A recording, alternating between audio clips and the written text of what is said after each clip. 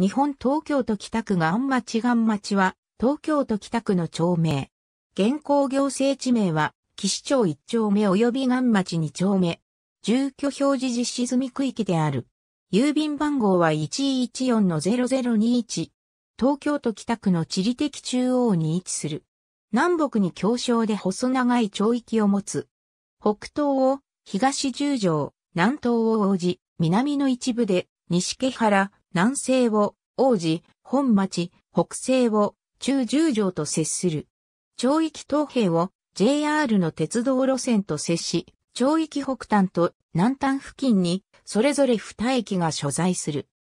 岸とは本来荒川右岸にあたる一帯の村名であったが、1322年、現在の王子本町に王子神社が誕生された際、村は王子村と解消し、当時岩稲荷と呼ばれていた王子稲荷神社周辺に岸の名が残されたという。江戸時代には王子村の正名として岸、岸の上が存在している。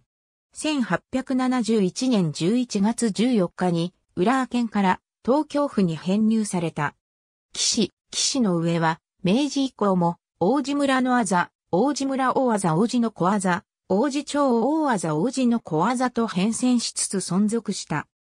1932年王子町が東京市に編入されて王子区王子町となると、岸の名は一発消滅するも、1939年、王子町、下十条町の各一部に、岸町が成立し、復活した。1963年住居表示を実施して、現在に至る。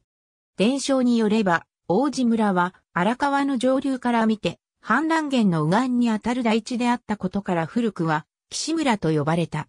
2017年12月1日現在の世帯数と人口は以下の通りである。区立小中学校に通う場合、学区は以下の通りとなる。町域内に鉄道駅は所在しない。しかし、徒歩利用可能圏内に鉄道駅が所在する。町域内を南北に分断するように、東京都道455号本郷赤羽線が東西に走る。